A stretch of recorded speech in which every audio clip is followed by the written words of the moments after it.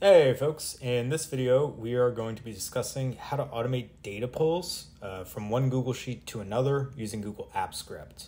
Uh, so what we're going to do today is we are going to be extracting data from a workbook called Sample Data for Google Sheets Tutorials. So we're going to collect all of this data here and then we are going to move it into um, a workbook, a blank workbook like this using Google Apps Script. So we're going to write some code and that's going to enable us to run a script that will collect data for us and populate workbooks so that we don't have to.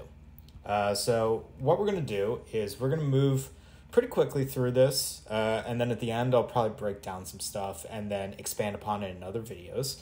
Uh, you should treat this as a level one tutorial, um, and in future videos, I'll make things uh, a little bit more dynamic. So we're going to begin by accessing Google Apps Script, which exists in our extensions menu. Um, and Google Apps Script is uh, an, a way to augment Google Drive. So you can use it with Drive and Gmail and Sheets and documents, slides, all that type of stuff uh, to to like make options uh, less manual or, or to create your own functions. So what we're going to do is we're going to create some constant variables. Uh, so uh, our constant variables are going to be our source ID, which is going to come from that source sheet where our data is. And then we're going to have a const for our destination ID, which is going to be the workbook where we're going to send this data. So I'm going to close off our example workbook because we don't need it anymore. I'm going to go to our, our untitled workbook. This is ultimately where we're going to want to send our data. Uh, so you can think about this as like our data extraction point or our or our endpoint or any of that type of stuff. So we're going to be sending data here on a daily basis or an hourly basis or a weekly basis, whatever whatever your cadence is. And then we are going to be capturing this source ID workbook up here and we are going to paste it in here. So basically, we're going to be able to use these things like street addresses or telephone numbers in order to identify those workbooks programmatically. So now what I'm going to do is I'm going to build a function called data extractor. And uh, I, you create a function by typing out the word function and then giving it a name, adding a parentheses, and then adding these curly brackets.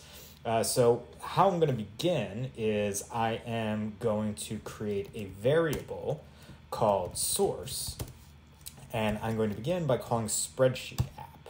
Uh, and then once I get the spreadsheet app, I am going to open by ID, and then I'm going to pass in my uh, source ID variable, my our constant. And now I'm going to create another variable called sheet, and I am going to access. Um, I'm going to get the work or sheet by name, and we're going to go back to our source data here, and it's called short data. So pretty much whatever you're, if you're using another workbook that is not this, this is linked in the description, by the way, you just enter in the, the name here in between two single quotes because this is a string. Uh, so now that we have that sheet, we are going to create a variable for data and we are going to access sheet dot um, get range and then we're going to begin at the first row. So you can see here in the documentation, it says give it the row number and then the column number. So we're going to begin at row one and we want to begin at column one. And then we want to tell it how many numbers of rows to go. So if we wanted to, we could stop at row one, we could stop at row three, but in our purposes, we want the entire sheet. So what we're going to do is we're going to call our sheet variable, and then we're going to use a function called get last row. And what this does is this programmatically just goes to the bottom of the workbook and gets us what the last row is so that we don't have to.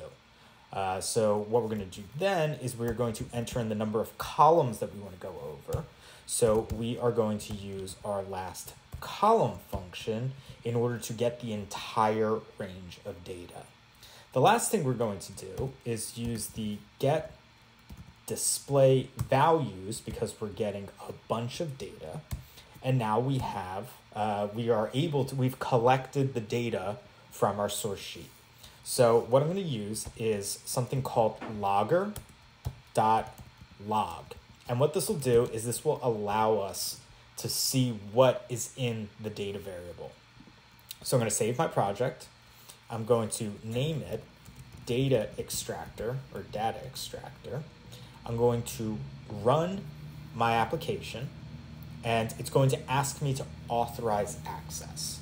And it's going to use some aggressive language when it asks us for uh, permissions. And the reason for that is because Google doesn't want you giving people access to your Google Drive unless if you actually know that person.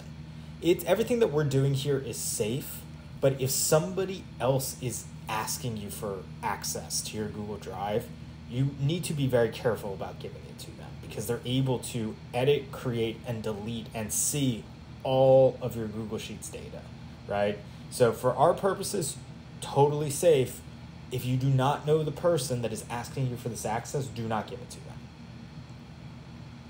Cool.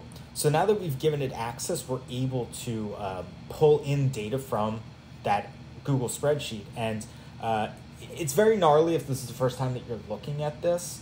Um, but basically, what you need to pay attention to is we have country, name, month, inventory, gross revenue, net revenue, UK, and mark. When we go to our sample data, we get country, name, month, inventory, gross revenue, net revenue, UK, and mark. Wonderful. We have all of our data in here. And if we scroll all the way to the bottom, you can see our last value is Stephen in Canada.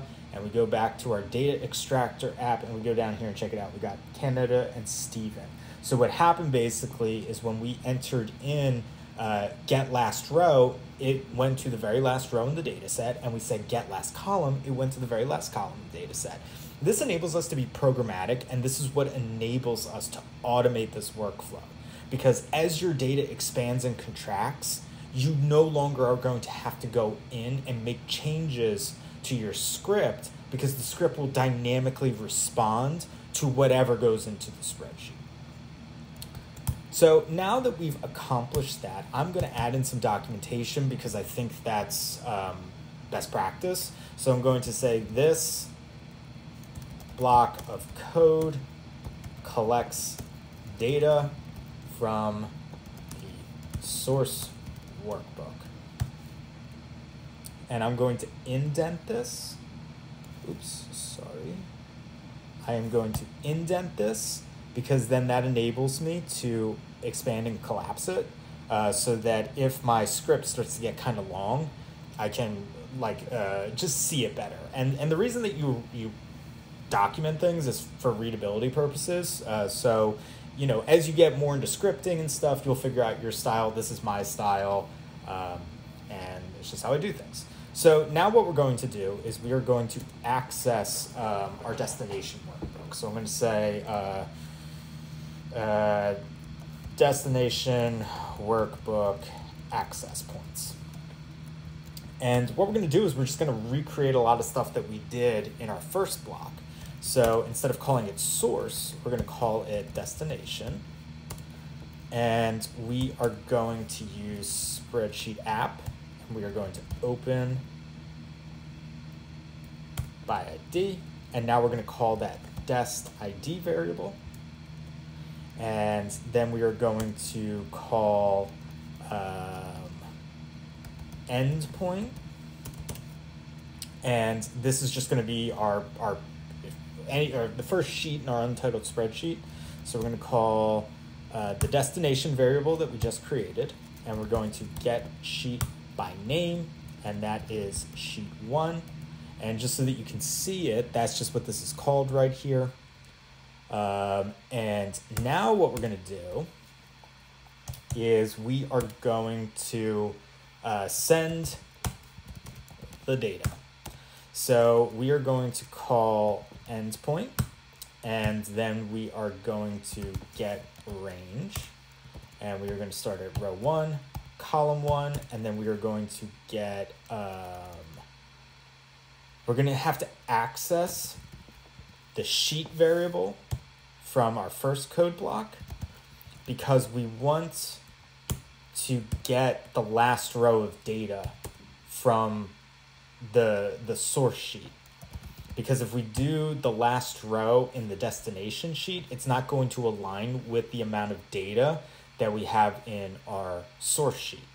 So we are going to access sheet.getLastRow and sheet.getLast column because we want to prepare the spreadsheet for the number of values that we want to send from the data variable. So let's take a moment to unpack that first for a moment because what's happening here is this spreadsheet, the untitled spreadsheet, has no data in it. So if you did, if you called the endpoint uh, variable in order to get the last row, it would be zero. And that does not match the number of rows in the data variable.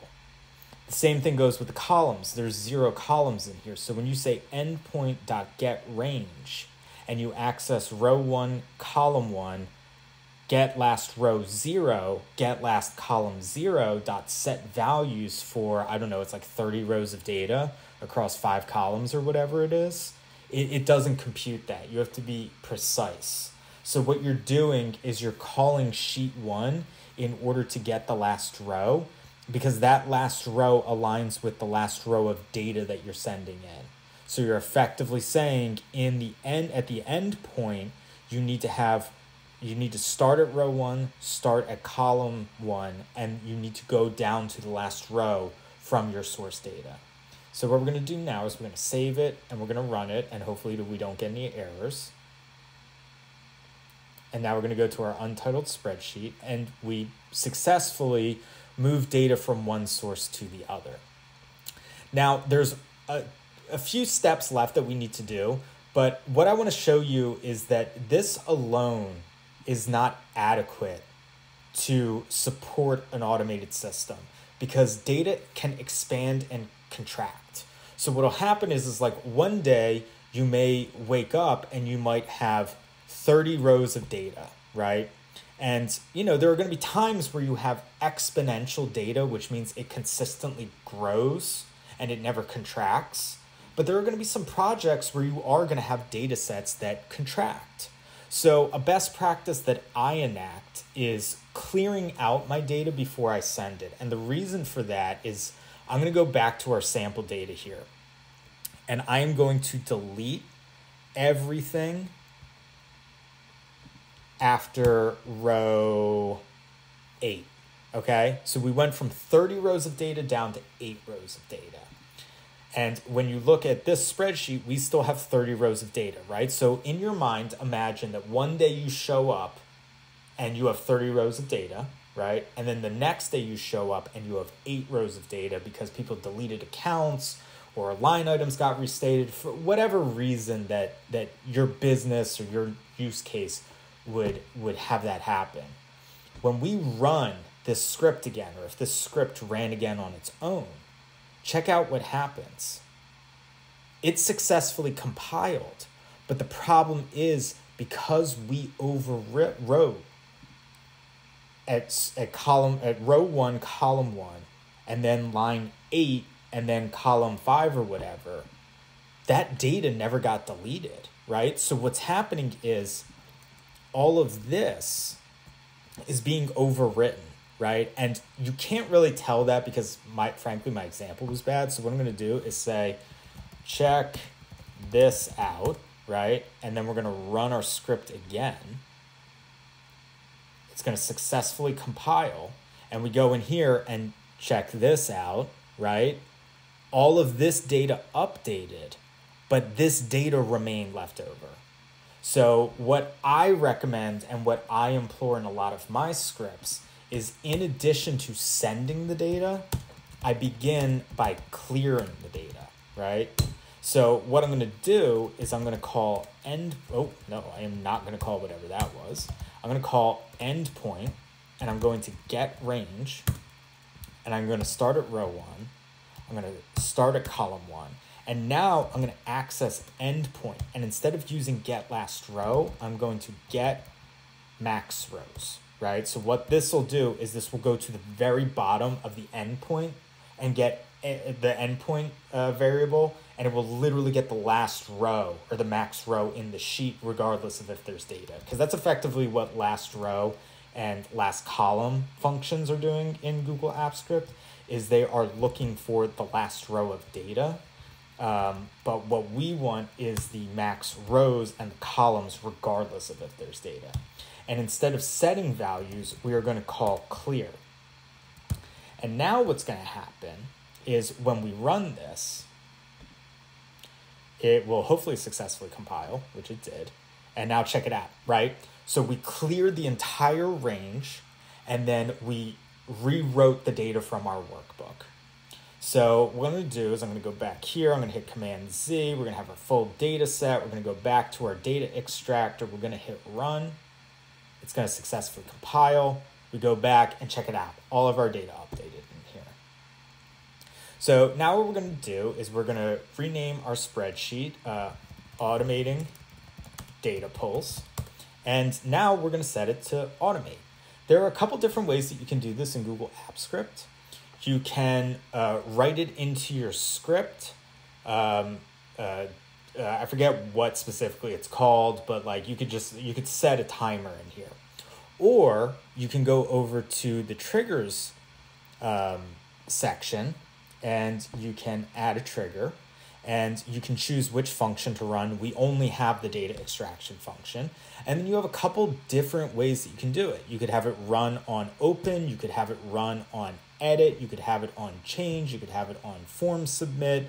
There's a lot of different ways that you could do it, right? So if you do it on open, that means anytime somebody opens up the workbook, your script will run. Data the data extractor function will run. If you do it on edit, that means anytime somebody edits the spreadsheet, it'll run. On change uh, means, I forget what that means, but basically you get the point, right? You could also do it for like form submission. So that's what I mean when, when I talk about Google Apps Script being a way to augment Google Drive. You can use it with any Google Drive product. So what we're going to do is we are going to do a time-driven function. And what we could do is we could set this to run every time, every hour or every day or every week or every month. We're going to have it run every day and we're going to set it to run every day at 5 a.m. to 6 a.m. so that when I log into work every single day, I'll get uh, data updated for me so that I can like build a dashboard on top of it or do any of that stuff. Sweet. So this was a level one way to um, automate data extraction from one Google Sheet to another. Um, I think this is a really effective way to import data into Google Sheets environments. Um, I think this is a verbose way of doing it. I have uh, a couple other ways that I will that I'll be demonstrating on my channel. So, uh, you know, if you found this helpful, I hope you'll come back and check out some other videos I have. Uh, this is also a really great way to augment the dashboard build that I have on my channel. So I hope you'll check that out as well. Um, I'm always interested in feedback, so let me know what you think. And uh, yeah, I wish you the best of luck on your data journey.